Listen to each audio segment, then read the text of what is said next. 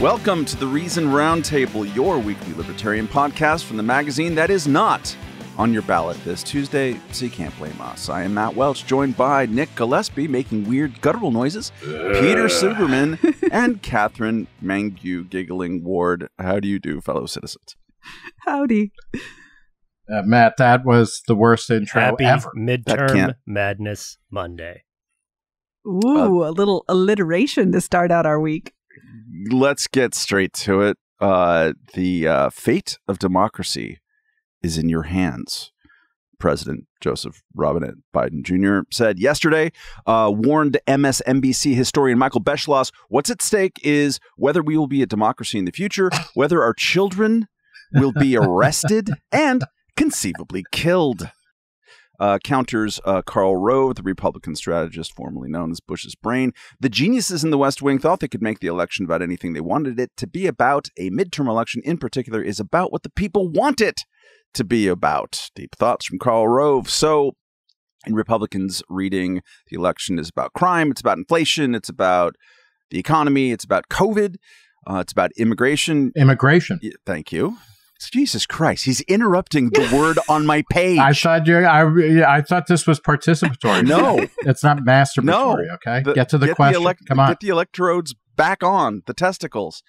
Uh, whatever it is, they were never off. it's Matt. They were never off. close. This election, control of the United States Senate hangs in the balance. There's a pretty normal pendulum swing looking uh, like it's about to happen in the House. Remember that on average, something like 26, uh, uh, uh, President's Party loses about 26 seats in the first midterm. But also, the chances of a uh, uh, pre election polling error is particularly high because the kids don't answer their phones. And I can't really blame them. Uh, libertarians, as usual, are outsiders, much more so now than ever before.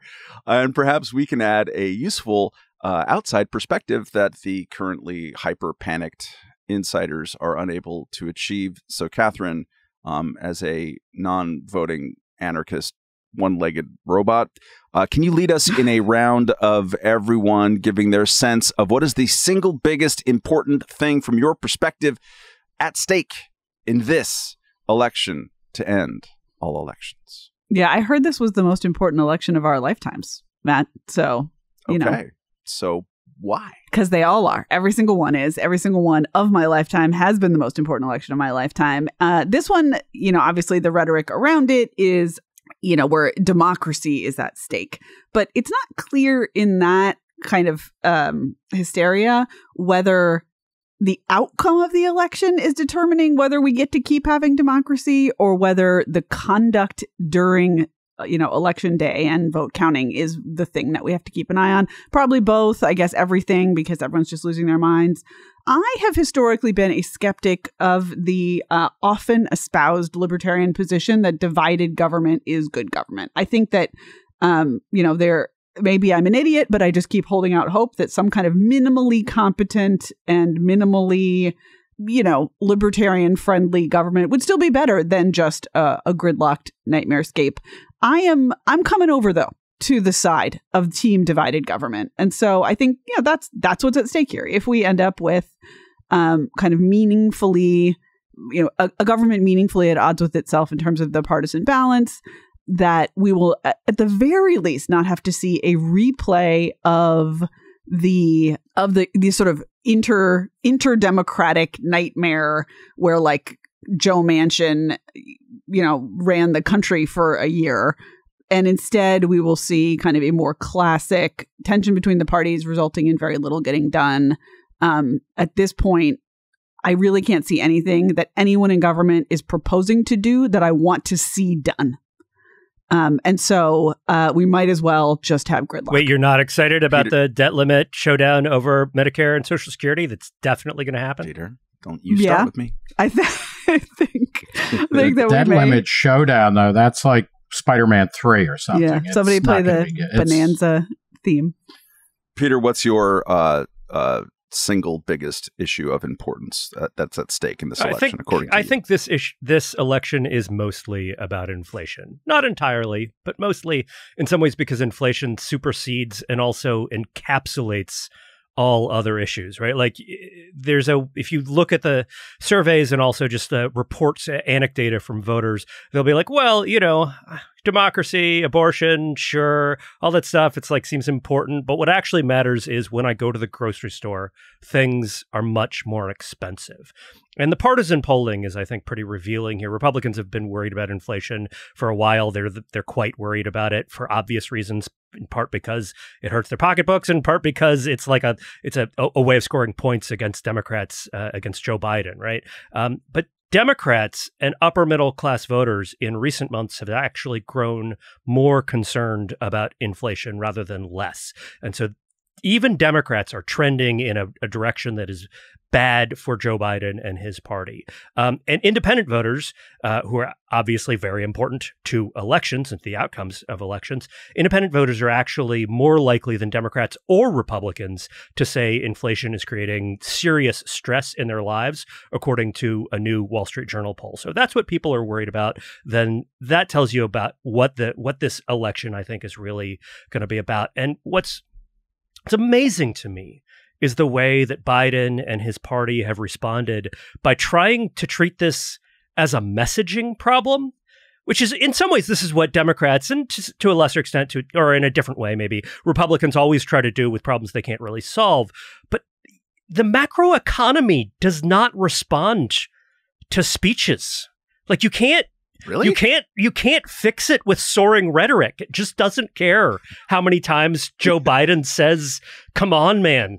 Or you know insists that like is that what passes for that, soaring like, rhetoric he- now? the he democracy needed- is on the he needed to bring the right, it's- Malarkey right Express inflation's it's like the terminator. It's out there you know it can't be bargained with it can't be reasoned with it doesn't feel pity or remorse. It will absolutely not stop ever until prices stop rising i think is how that goes.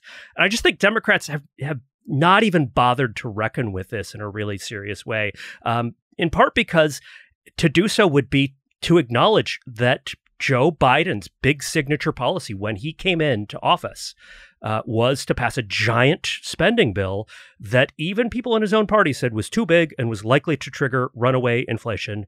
Um, Democrats went ahead and did it. They did it on a partisan basis, and now we are where we are. Uh, you know, uh, Peter, uh, Joy Reid, Joy-Ann Reid from MSNBC taught me that um, no one had used used the word inflation until Republicans in the scaremongering media started using it. So I think you're part of the problem. Uh, Nick, what is uh, your sense of what is at stake for Nick Gillespie? I, I was going to also add to Peter though that uh, the, you know the Stacey Abrams at one point tried to wrap abortion into inflation, and it was something like you know because now we can't get abortions, inflation is really out of control, or something. And um, so you know I you got to give people think points. the price of a terminated pregnancy is included in any measure of CPI. Now, but think of the, the spending that you commit to if you let that kid come, you know, to term. That's like, you know, a couple hundred thousand dollars. You are just, you're pouring gas on the economy of the future. Matt, I, uh, to pick up on, uh, actually what both Katherine and Peter were saying, I think the, you know, it's, it's the economy in the broadest terms possible. And it's not simply inflation. Um, I think it, you know, there is a restructuring going on um, that has been going on for the past 20 years. You've talked about it uh, recently on this podcast about, you know, the labor force participation rate, younger people, older people, like who, who's in the economy, who isn't. Um, on t- you know, and then you see things like inflation, and you see things like free trade and supply chain, you know, problems where most people don't really fully understand why this is. Ha- I don't know that anybody really fully understands why any of this is happening, but there is a growing sense that things are just not being taken care of or acknowledged, or nobody knows what's going on. And then you look to the people who head up, you know, the two big parties, and it's Joe Biden on one hand, who is a bumbling fool. And I was talking with a bunch of Democrat operatives. You know, I'm not talking about just regular voters or anything. And they like, they do not have a sense of how badly Joe Biden comes off to everyone in America except them. I mean, he is fucking out of it. And people, everybody knows that. And then there's Donald Trump. And, you know, I'm sure we've all had, you know, either, uh, you know, people who are Trump tards or friends who are like, well, he's not so bad. And it's like, this guy, these are, these are the two heads of the parties and they're poisonous people. that nobody believes, nobody trusts. Um, and that's really what's at, at stake here. It's certainly not democracy. And, um, you know, for that reason, I think we are going to see a swing to the Republicans because they are not the Democrats, first and foremost. And this election is going to be like most of the elections of the past 20 years now, where it's like whoever is in, in power needs to be taken out of power. Uh, and then it takes about two years to realize that the people that we just voted in are just as bad. They might even be worse because they have been living in basements, you know, scraping paint chips off of, uh, you know, cellar walls and eating those in the two years that they're out of power. So.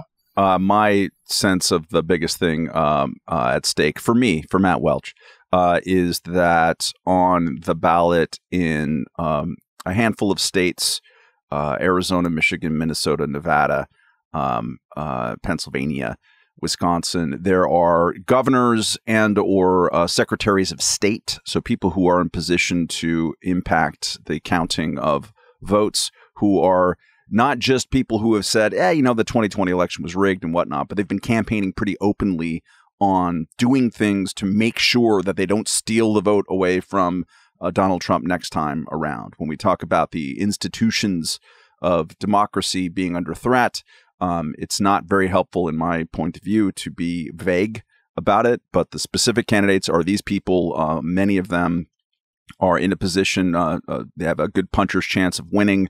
And at least one of them, Kari Lake in Arizona, was boosted by Democrats. Nice job in the primary because they thought that she'd be easier to beat. Uh, those are the races that I will be watching soon. We have talked a little bit about it already, but let's get more into it. Uh, what is the one main major party closing argument that you find most risable? Bonus points if you get uh, making whoopee in your answer. Katherine, why don't you start? I will not be getting making whoopee in my answer. Just want to clear that up right now. Uh, you know, it's a great sports I, team from Macon, Georgia. I think um, it's what I alluded to before, which is that the, the closing argument of Democrats seems to be if you let Republicans take control of one or more houses of Congress, democracy as we know, or maybe one or more state legislatures or governors' mansions, democracy as we know it will be over. And that is not true. That is untrue. Bill Maher uh, says it's true, Katherine. Bill Maher is wrong in this respect because it's, you know, we have a great uh, cover story from a couple of issues ago by Eric Boehm, which I recommend to you, about how uh, our elections have always been messy. And we are in a messier than usual moment. Like, I don't mean to say everything is completely fine. Um, and there really are some battles happening for control of kind of specific semi obscure bureaucratic entities that control how election outcomes get communicated and tallied that I think are worth paying attention to. But broadly speaking, our democracy will be fine. And certainly this midterm election is not is not the linchpin of history. So I guess I'm just back to my very, very beginning of my first answer, which is, you know, is this the most important election of our lifetimes? No, it's not. It's an election. It's a regular election. And some people are being kind of extra bonus dickish. Um, but that is neither here nor okay, there. Okay, but if you're like democracy 18 months old, this is the only election of your lifetime. You know, you got me there. That's a that's a fact check on It's me, the- and I it's will the concede pandemic the point. baby boom, right? It's we got the- the, like there's at least four reason staffers with uh, with uh, offspring who are 18 months old. Oh, you think that was just pandemic related? Yeah. No, I thought you were going to say there are at least at least uh, four reason staffers for whom this is the first election of their lifetimes. We got some some Uh, youths on the staff mean, now. Certainly, Billy Binion looks like that. Uh, Peter, what what is the major party uh, closing argument that uh, is sticking in your craw, whatever a craw is? It's a synthesis of what you talked about with the Republican um, races, where there are governors, et cetera, who are promising to install people or sort of change processes uh, in order to ensure that Donald Trump wins next time, even if he doesn't win. I, I think is kind of the argument there. Um, right? So even if he the, doesn't the run, Trump MAGA stop the steal movement, I think, on the one hand, and the flip side of that, which is what Katherine has, uh, you know, mentioned, which is the Democratic argument that democracy is in peril. And so I think Republicans are in a really disturbing place with when it comes to the machinations of democracy and voting and whether or not Trump actually won in 2020. Trump Trump lost, and a lot of Republicans have not accepted that, and they need to, and they've built a movement around the idea that actually he did, and it's just totally out of touch with reality. And I think it's really poisonous for our politics. At the same time, Democrats have responded with this argument that therefore democracy is in peril. And you, you, you, you what the, the implication of their argument of the democracy is in peril argument is that you then have no choice but to vote for Democrats.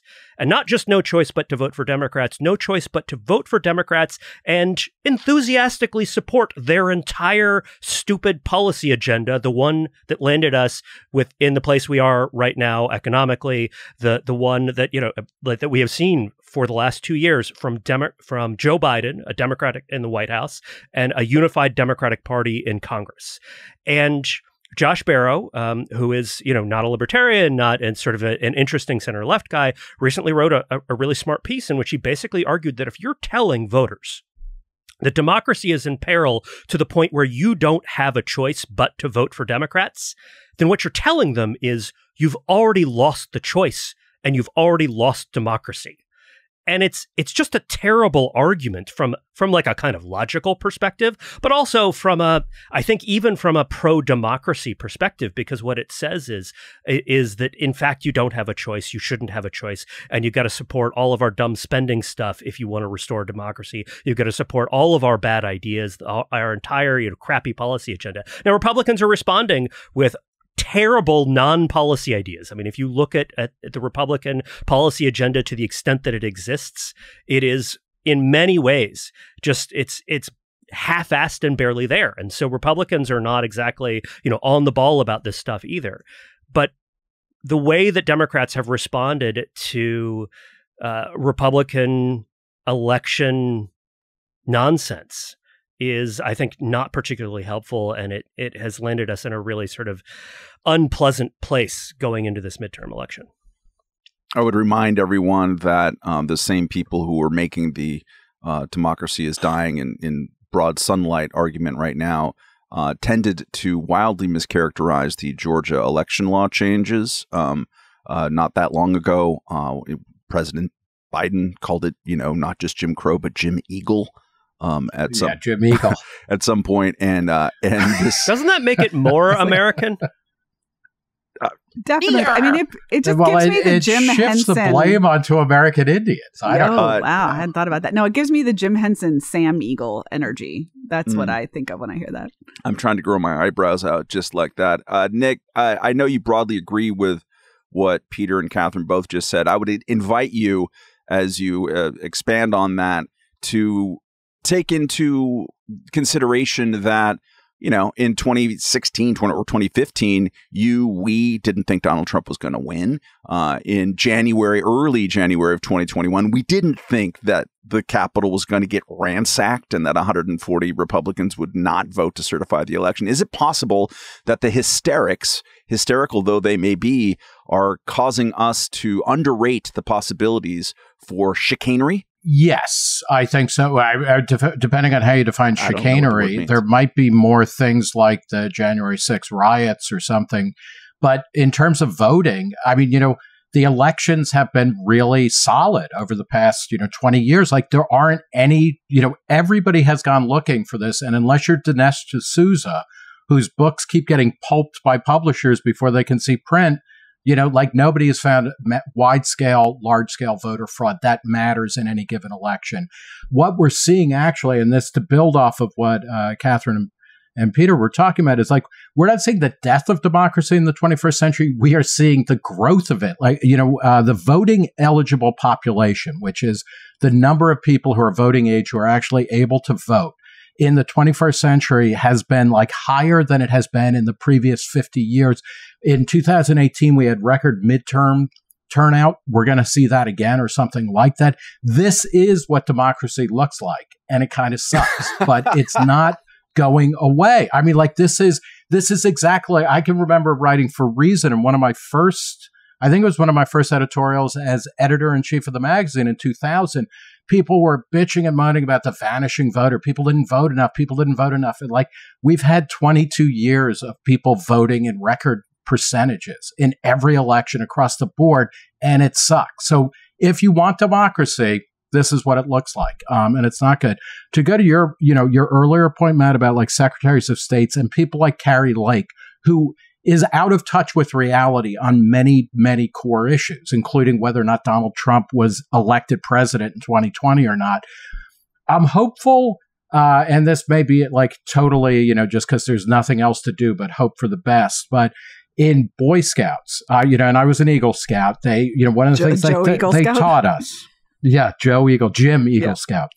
Uh, that, but one of the things that the uh, the leaders of the troop taught us was like when you see a troublemaker, give them some responsibility, and it straightens them out. And how are secretaries of state like they have to oversee elections that are going to be closely watched, et cetera? Like it's going to be really hard for them to be in charge and throw elections one way or the other. Um, because there's so much scrutiny, and also the election results need to be believed in order for them to stand. So I'm less worried about this kind of broad based chicanery, although I do think politicians, whether they're right wing or left wing, and there's some on both parts, who are so blatantly out of touch with basic reality, should be called out on that all of the time. I feel like I Uh, just understood for the first time how Matt Welch became editor in chief of Reason.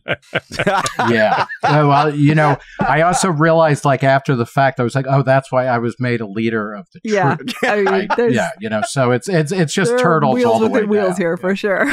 OMG. Uh, I'm going to take as my entrance something that uh, Suderman alluded to before, which is a large Democratic Party closing argument.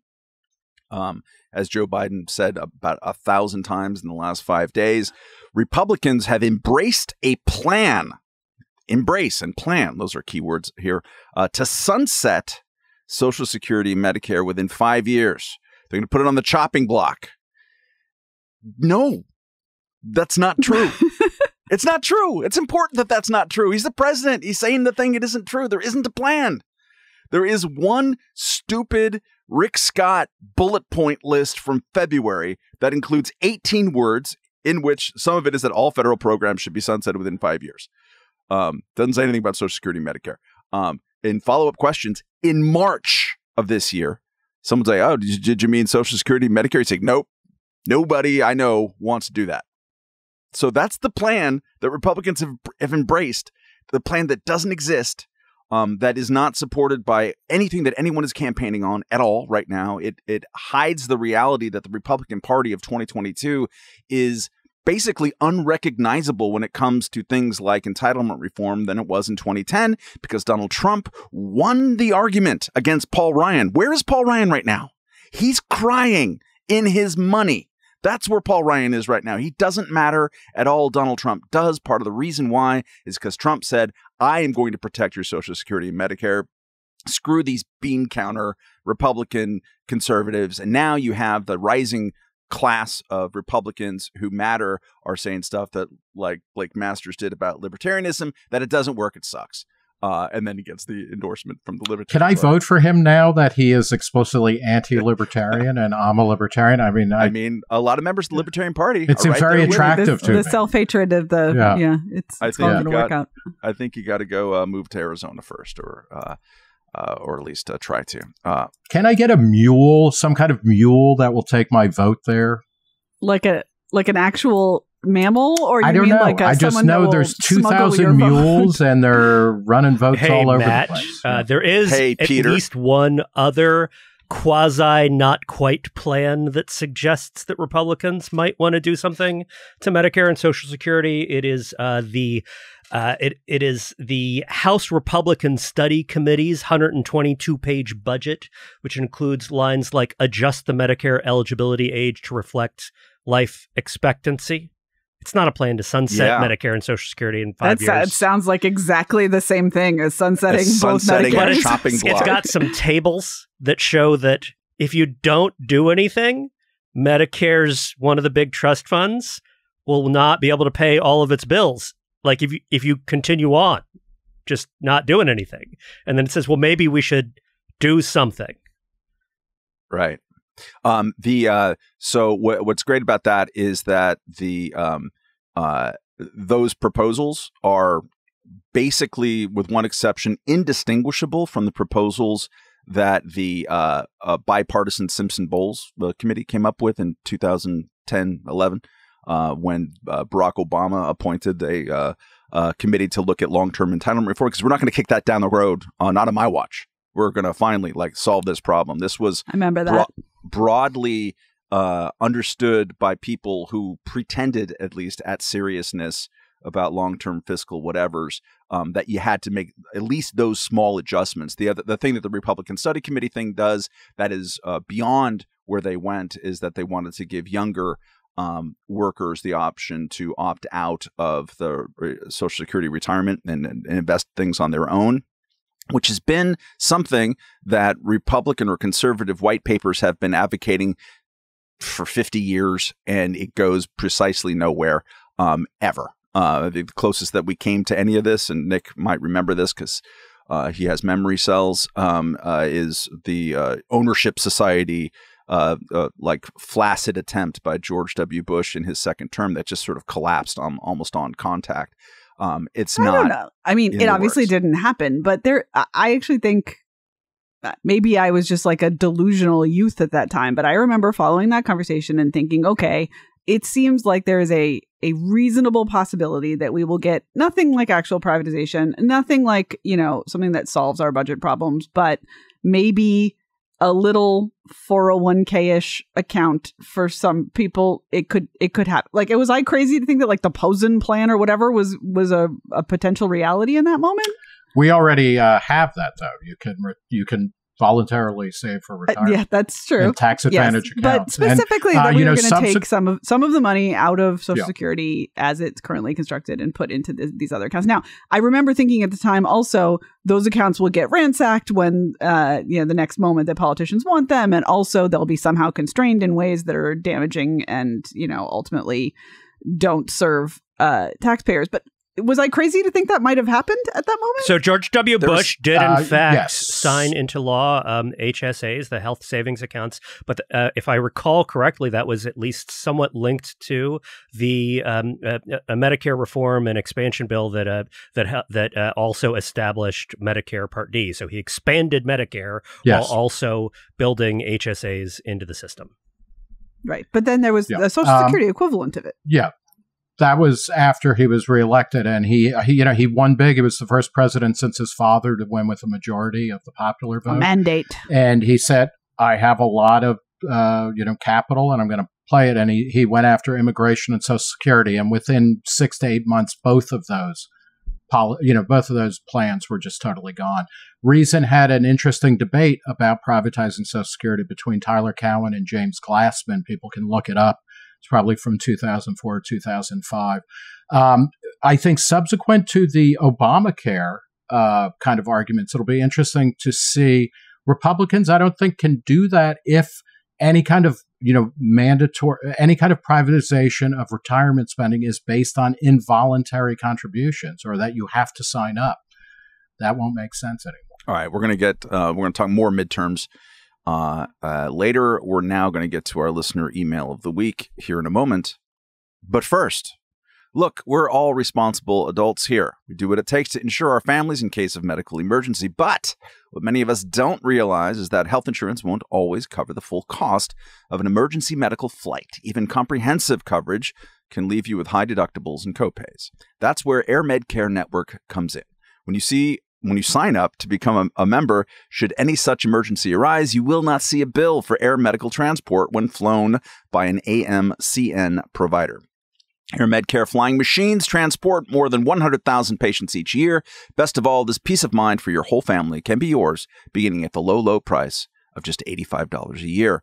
Listeners to the Roundtable can get gift cards for their new memberships for up to $50 through their Visa or Amazon. Simply visit airmedcarenetwork.com slash reason and use the offer code REASON. Start protecting your family. Do it today. You'll be glad you did. All right, reminder to send us your succinct emails to roundtable at reason.com. This one comes from Dave Matthew, no S, who writes in part Hello, Roundtable. My pithy query is this Do you think candidates would attract the 8 to 15% of independents? I presume this is Matt cutting in, that that's the number that he's attaching to independents, by refreshingly stating their actions in office will have little to no effect on individualized happiness. For example, Democrats and Republicans have squabbled over tax cuts, a somewhat nominal 39.6% to 37. 37% for the top rate, while federal spending on every single mandatory and discretionary program has remained relatively unscathed, yet the tax cuts are held up as an us versus them when discussing policy.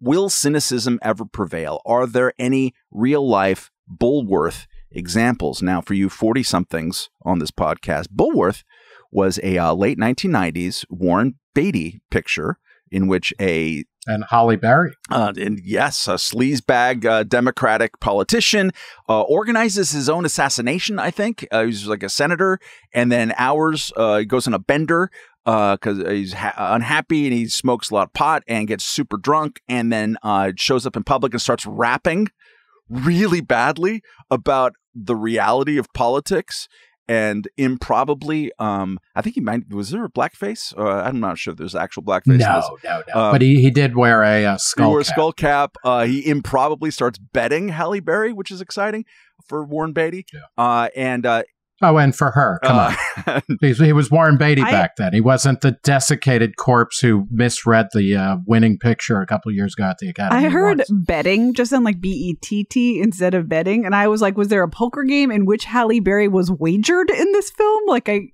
essentially. But anyways, he started rapping the truth about how Democratic politicians are full of crap, and him probably started getting super popular. Um, and so people thought, hey, maybe that's if they would just tell us honestly. So, Catherine, could the fantasy of having a politician uh, suddenly uh, become popular by telling the cynical truth about the limitation of politics and the cynicism of it, um, uh, and then suddenly succeeding, could that ever come true? I think that happens regularly. I think almost every time that we elect a celebrity um, to office, that's essentially what's happening, including perhaps the election of Donald Trump. I think many people who voted for him perceived him to be that guy. They perceived him to be someone who was just like, you know what? I am not beholden to the ritual of this thing, and I'm just going to say what I want to say.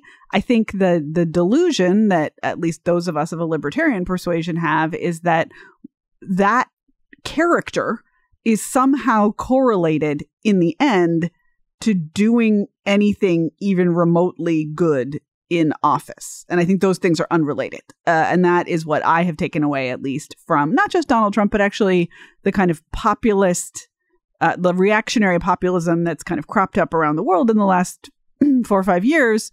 Um, people who seem like they are doing this, who seem like they are being Bulworth, I guess, on this day, like Fer- Ferris Bueller's political day off is what it sounds like you just described. You know, those people are subject to all of the same human vices as regular stuffed shirt politicians, and perhaps even more. Peter, this is an open invitation for you to uh, assess your own favorite or least uh, favorite cinematic presidencies, and or to rebut Catherine's assertion that uh, Trump equals Bulworth or Bulworth equals Trump. So I think the thing that people forget about Bulworth is that the most memorable rap couplets were actually about I hate this about already. health policy. Yo, Oh no. yo, everybody gonna get sick someday, but nobody knows how they gonna pay. Healthcare, managed care, HMOs ain't gonna work. No, sir, not those. Cause the thing that's the same in every one of these is these mother effers there, the insurance companies, and then two characters named Cheryl and Tanya chant insurance. Insurance, and he says, Yeah, yeah, you can call it single payer or Canadian way. Only socialized medicine will ever save the day. Come on now, stop. let me hear that dirty word socialism. Ugh, Socialism, and I, honest, and what you have to remember is I hate what you this have to remember. I love it.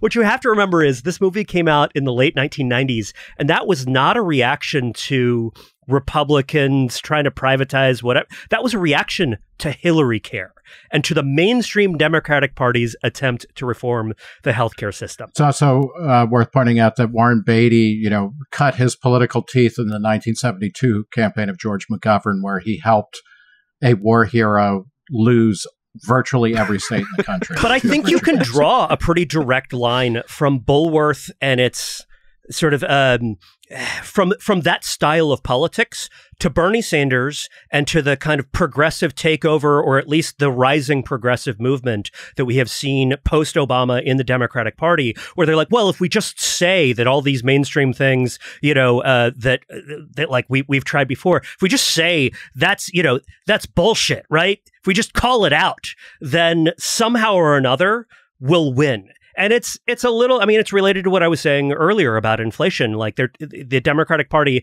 has decided that you can win all of these things just through a kind of blunt you know sort of we're just going to say the truth man messaging that I don't know if it exactly derives from Bulworth. It's not like Bulworth had, uh, you know, was the first popular incarnation of that idea. We've we've seen it for decades. At the same time, Bulworth was a was popular in certain circles, uh, developed a cult reputation, and Bulworth uh, it, Bulworth plays at least some small role in putting us in the you know sort of um, in an America where Bernie Sanders isn't president, but play, but is surprisingly influential within the Democratic Party. So Bulworth is Trump. Although he really isn't. I mean, I think this is it's it's interesting. I, I Peter, I think that's a really fascinating read, and it's really helpful to remember. You know, Bulworth's main thing was about healthcare in response to Hillary Care, but ultimately, when you look at people like Bernie Sanders or AOC, they are not particularly influential. Uh, and uh, you know, one thing that's interesting is when Nancy Pelosi vacates uh, which is going to be probably sooner rather than later because of that fucked up attack on her husband. And when Biden, you know, when they stop giving the electric, you know, the starter jumps jump starts every morning, so it seems as if he's still alive. Um, what comes next will be interesting. But people, the hardcore socialists and progressives in the Democratic Party, like AOC and her, uh, you know, her uh, girl gang, like don't have any institutional power or any electoral power. So um, that's kind of comforting. Uh, was um, I was going to point people to Matt just in response to the reader's question. Um, you know, the the real life example, and I think Catherine might have been uh, getting to this was Arnold Schwarzenegger in California when he became governor. He was a true outsider who came in very idealistically. Matt Welch, uh, you and I wrote positively of the potential for him to be a true change agent in, in American politics because he was an old time, I'm socially liberal, I'm fiscally conservative. And he was a truth teller. And was it three months, six months within his election? He yeah. was finished. Yeah. Yeah. I mean, it was so bad. But then the other guys, like somebody like Zelensky, you know, in Ukraine, got elected and is actually kind of rising to the challenge. He's kind of a Bulworth type character. Wow. In a so Bulworth e- equals Trump. Well, he Bernie, plays the he played the piano with his penis in a in a comedy. That is true. Before he became president, and, that's pretty. And good. it is actually. And that's better than Warren Beatty rapping. Although in some way it may be for anyone who does I not understand the sort of the popular culture, sort of. Uh, role that Schwarzenegger was cast in when he was governor, you should go back and read the Esquire profile of him by Tom Tom Junod uh, from t- 2009. Arnold Schwarzenegger is president of 12% of us. That is just this incredibly sort of laudatory, like Schwarzenegger is going to come in there and beat up all the bad guys and just do the and like be the action hero that California needs in the governor's office piece. It's it's kind of a fascinating piece of journalism, a great read. I think it did didn't hold up very well as a as a piece of political prediction, but it will give you a sense of how he was seen and how he was portrayed in the press. Yeah, instead of the Terminator, we uh, Schwarzenegger, we got Jingle all the way. I want to confess, uh, having attended the uh, the very brief moment in which Warren Beatty was a possible presidential candidate in 1999. We have memory hold this, but he was given a Eleanor Roosevelt Award at the Beverly Hilton in October of 1999, and people were like, "Is he going to run? Is Bulworth going to run for president?"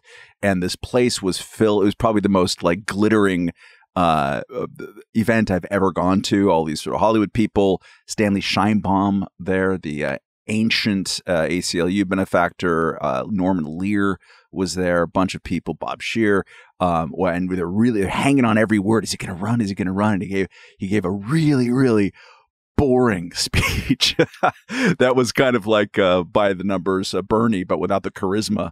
Um, and he was sort of like he thought he was being all dramatic and not. But yeah, people were writing uh, credulous articles in October of 1999. So that shows you how the uh, political uh, campaign cycle has. I was Y2K, Matt. We were you know, fucking out of our minds. we were out of our minds. History, you know, we were worrying uh, planes dropping history from the was sky. over, and Bulworth was going to be president. Yeah. This sounds perfectly reasonable to me.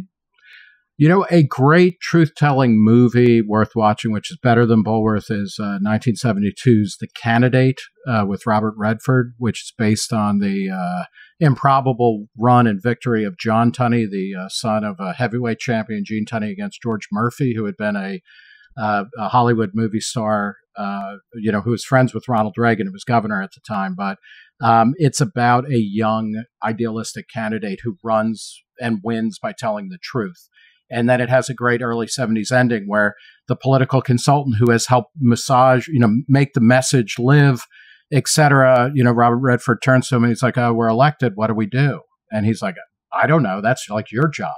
Like i'm just here for the messaging.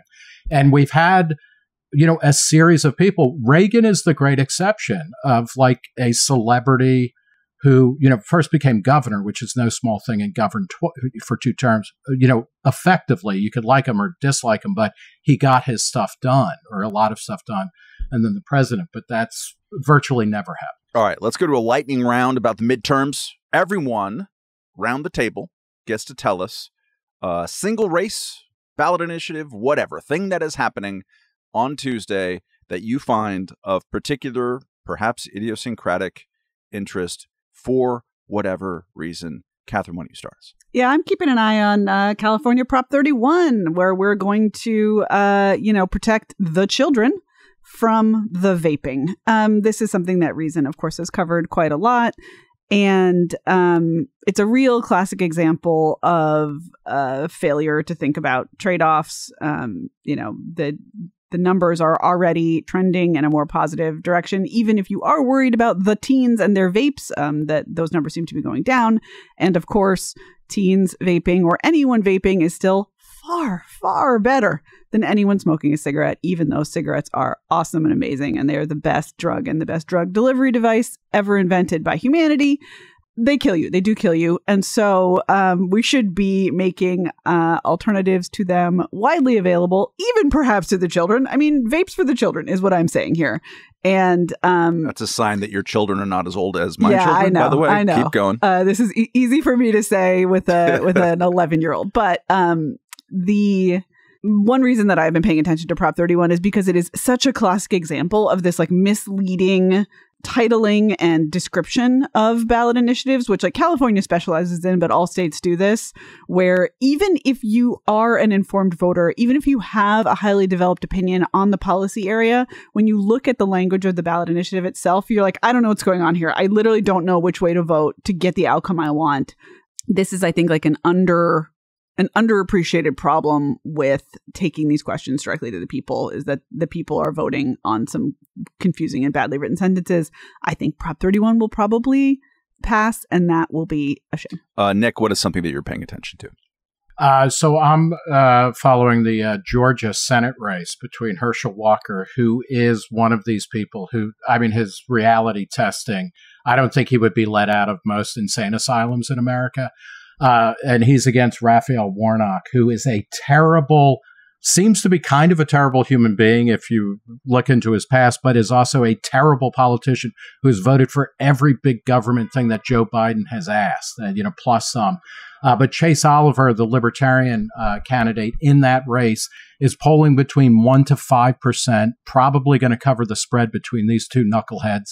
And uh, Chase Oliver is a really classic pre Mises Caucus LP guy who, you know, walks the socially liberal, fiscally conservative line, which we can get into philosophical debates about whether that's good or bad, but political in retail politics, that's pretty good. And Georgia is an interesting state because it's flipping back and forth between people, but it's not purple. It really is like there's a lot of red people and a lot of blue people there. So I'm curious to see how Oliver does. And in particular, when you compare him to the Arizona race where, uh, uh, you know, uh, Blake Masters versus Mark Kelly, where the libertarian Marc Victor, who had been polling as high, you know, in double digits in some races, caved and said, okay, you know, all libertarians should vote for Blake Masters because I talked to him for a while and he claimed to have carried human action around in his backpack when he was in grammar school or something like that. So I see the Georgia race not only interesting because of this red blue, you know, kind of showdown, but also about how is the LP going to go? Uh, how is it how is it going to go going forward? Because you know they're under new management. Oliver has been critical of the Mises Caucus, but is going to have one of the very best and most impactful, if we're using that word, uh, outcomes. I think in in this election cycle. So I'm very interested in seeing. Georgia happens. is fascinating for a lot of reasons, not just because it's the site of the alleged Jim Eagle uh, election law, but we might see a lot of ticket splitting. Right, uh, Brian Kemp might might Yeah, win governor maybe. over Stacey Abrams, who's a one of Definitely is going to win. I mean, he's like up almost uh, you know double digits by most polls. uh, so. and yet Warnock might win. It's just it's uh it's it's fascinating, and it'll put a lot of uh, narratives to the test and kind of scramble them in ways um, that, if it happens that way, would be kind of like a, a hopeful. Uh, for, to me, uh, outcome. Peter, what is something you've been looking at? Uh, in some ways, it's something that I haven't been looking at. Unfortunately, it's another Georgia race. This one is the um, the Marjorie Taylor Greene's district, uh, Republican representative.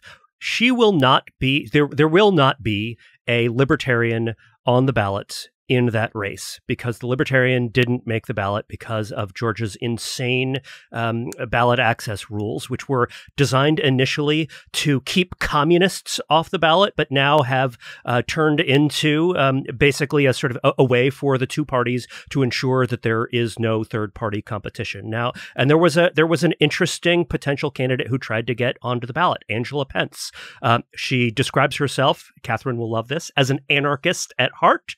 Um, she is someone who thinks that America needs more immigration, a smaller government, um, less control over individual decisions. And she says that she was activated in her sort of political journey because she felt like the Republicans were turning toward authoritarianism, but she couldn't bring herself, you know, to pick to to choose either Donald Trump or Hillary Clinton in 2016. Hey, hey, that sounds kind of familiar. This seems like somebody who would be a good person to have on the ballot. She wasn't going to win. Angela Pence was not going to beat Marjorie Taylor Greene, but it would have given people a choice in that district, and I think uh, it would have been a better race had she been in it. Um, she did, however, tweet uh, about a week ago that she has been humbled by the number of people messaging to say that they wrote her in for the for Georgia's 14th congressional district. Um, so people do still have a little bit of a choice, but it's harder because she's not on the ballot, and I think it's a shame. Eric Boehm covered this for us over the summer. If you want to, if, if you want to read about Georgia's uh, ballot access laws um, and the, how that system was developed and how it is being used now, uh, his article "How Georgia's Outlandish Ballot Access Law is Protecting Marjorie Taylor Greene and the Two-Party System" is at Reason.com. The uh, speaking of uh, ballot access, the one that I'm paying closest attention to, probably uh, election on Tuesday, is the New York gubernatorial race, which has only two people on the ballot. Unfortunately, uh, New York also has terrible laws governing third parties. Uh, Libertarian Larry Sharpe was unable to get on the ballot; it was challenged. Um, the law, underlying law, was rough, and then uh, his actual uh, signature collection uh, was challenged by Lee Zeldin, uh, the Republican running. Uh, so there's only two people on the ballot. Uh, and the last like 36, 48 hours of pre election coverage has been such an absolute freak out meltdown, uh, mostly by Democrats and left leaners, at the possibility that Zeldin might be competitive in this race. Um, you can see Kathy Hochul's uh, closing commercials on television are all about how she's going to fight crime the hardest. So that's a different message than she had a month ago. Um, there's going to be a lot of national discussion. There's people blaming Eric Adams, the mayor of New York, already because he's leaning into cons- false conservative narratives about rising crime and such like. It'll be an it'll be an interesting.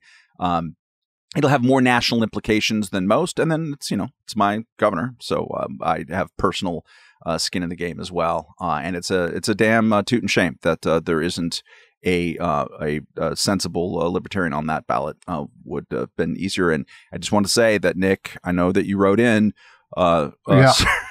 candidate there. I believe I wrote in I, you. Uh, I, you know, if elected, I will not serve, but if I have to, okay. um, uh, you will be jailed. Um, just preemptively. Um, to, to I'm already. I've, I'm digging a tunnel to New Jersey. in your mind, all right. Uh, if uh, you know by uh, like 11 p.m. tomorrow Elon night, I'll Musk's, be gone. Uh, boring machine is there. Yeah, Hyperloop. Yeah. Is it a slow boring or is it a fast boring? Okay. All right, let's let's get to our end of podcast. What we have been consuming. Nick, why don't you lead us off? Okay, so uh, speaking of Marjorie Taylor Greene, who is another person who is delusional. I mean, these are, you know, there was a famous, in the early 70s, there was a famous psychiatric paper uh, on being sane in insane places um, where a, a, a, where a psychologist uh, had a bunch of grad students go to mental institutions and give vague descriptions of something and then saw how many people were seen as insane. Marjorie Taylor Greene is insane. I think if she was put if if a battery of doctors asked her basic questions, they would be like, "This person probably should not be operating heavy machinery or driving a car or wielding." So you're on the side of, of the She's liberal nuts. medical establishment. I am. Uh, you know what? Lock her up. Lock her Calm up along there. with violent Jeez, homeless you're like people. wrecking sure. the Goldwater yeah. rule here, just Calm violating it. Uh, yeah, you know, well, thankfully, I'm not a uh, psychologist, so I'm not Uh-huh. bound by those rules. But um, and uh, Barry Goldwater in 1964, you know, there were reasons There's- to the- the worry rule about. was there it. for a but in any case, so uh, th- I'm, the reason I'm talking about Marjorie Taylor Greene is that I'm reading Robert Draper's uh, new book, Weapons of Mass Delusion: When the Republican Party Lost Its Mind. Uh, Draper is a really excellent journalist who hails from Texas. Uh, he wrote flatteringly of Matt and me in the uh, the you know what is increasingly looking like the high water mark, Matt, of, or at least of our term, the libertarian The moment in 2014. Yeah. Uh, yeah, I guess it is true that when something appears in the New York Times, it means it's over. Uh, but Draper had written the uh, cover story about Rand Paul and libertarians called "Has the Libertarian Moment Finally Arrived?" Uh, and we're still waiting on the answer to that, by the way. I think, but uh, but we know it didn't arrive at any time since 2014. Um, but this book is a you know from a guy who is sympathetic to kind of uh, mainstream Republican conservatism. He opens with a he's a, a great writer, and he opens with a uh, uh, remembrance of his father, who was a conservative Republican in Texas at a time when it was not easy to be a Republican in Texas. Um, just kind of being dismayed as he was dying to see what the Republican Party had become over the past five or six years. Um, and it's uh, it's highly worth reading because the Trumpification of the Republican Party has, you know, destroyed that party in terms of principles. Uh, even when you look at people like Rand Paul or Thomas Massie, uh, you know, people like uh, Justin Amash, of course, have been chased out, but they're, you know, Republicans do not stand for anything remotely libertarian anymore, I think, and that is disturbing as hell. Um, and they are mostly obsessed with attacking leftism and all kinds of stuff wherever they see it to the distraction of being in favor of things like immigration, free markets, free speech, uh, you name it. Um, I highly recommend Weapons of Mass Delusion when the Republican Party lost its mind. Um, and it, this is not to say, okay, this all the trouble in the world is because of Republicans. The Democrats have their own problems, and they are going to be dealing with that in a big way come you know whenever these election results are certified. Um, but the Republican Party, because it's going to win big in the midterms, is going to go on as if like, look at us, we're winning, we're winning. You know, let's keep doing what we're doing. And what they're doing is terrible and often insane. Catherine, uh, what have you been consuming? I have been continuing to work my way through suggestions from uh, podcast listeners in my convalescence. Um, but the one I want to recommend is um, Susanna Clarke's novel Piranesi. Um, you might remember her name. She wrote um, Jonathan Strange and Mr. Norrell, but this novel is almost entirely unrelated to to that book. Um, it's actually quite hard to describe, but it is kind of a um, fever dreamish other world in which we meet a character who doesn't seem to have contact with the world as we know it, but um, maybe once did. It's sort of starts out as a like almost Umberto Eco type allegory story and ends up as a dark academia thriller. And um, I really enjoyed it. I found it to be like very, very absorbing. And right after I finished it, I watched the Netflix series, um, or I started watching the Netflix series based on Michael Pollan's book, How to Change Your Mind which follows a very similar path. Um, so basically, you know, say you had some experiences with psychedelics and you were in academia, how did that go for you in the 20th century? Like that arc very much follows the arc of this book, so much so that I almost wonder if she had it in mind as she was writing. So if you are kind of interested in how really, really big world changing ideas have no place in the industry of ideas that is academia. Um, I, I would recommend actually both the Netflix series uh, and this book. Um, and also, if you want to just kind of not be where you are, um, this book is extremely transporting. And if you are me with a broken kneecap, um, that was much needed. So, Piranesi by Susanna Clarke. Peter? I watched the movie Tar um, the new film by Todd Field, starring Cate Blanchett as a superstar classical music condu- conductor.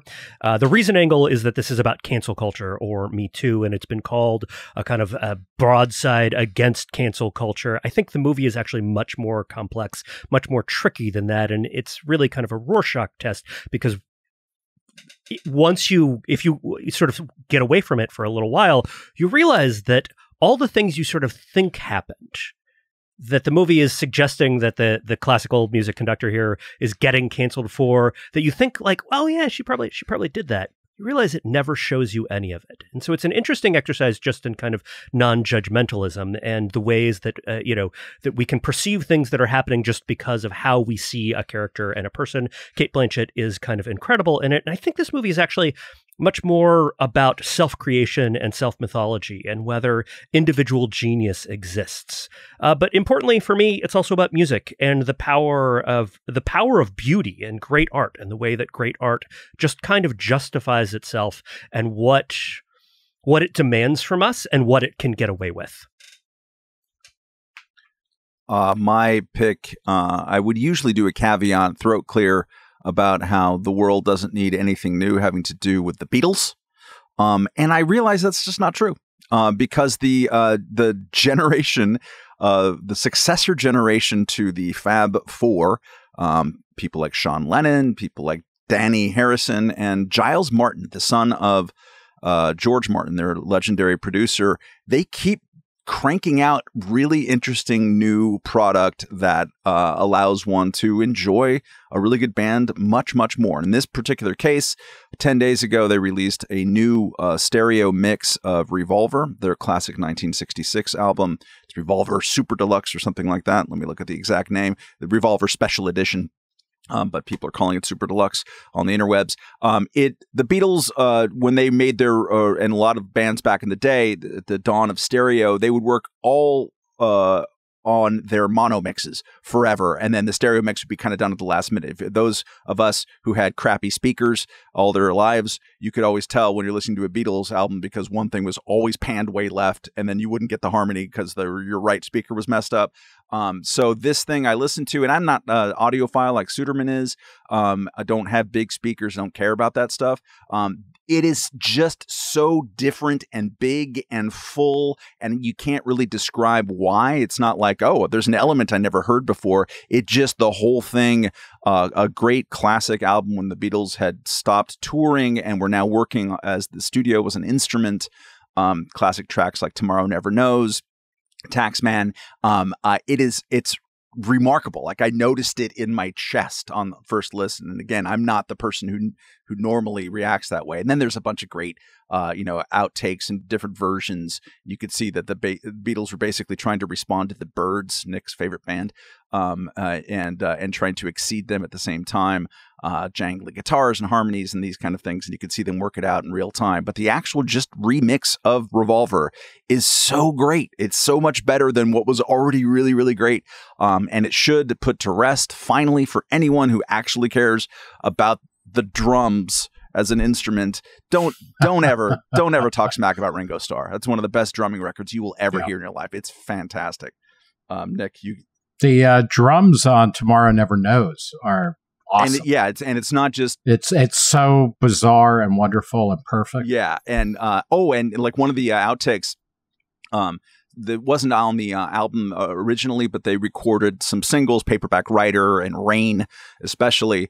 Uh, "Rain" um, has over the years, you know, it's legendary as being a one of the greatest bass lines you've ever heard, and the drumming is really great too. Turns out, you find out um, that version that we've been hearing forever is slowed down the version that they recorded with a really complicated, fancy, crazy bass line and really good drums was about, I don't know, uh, one third faster.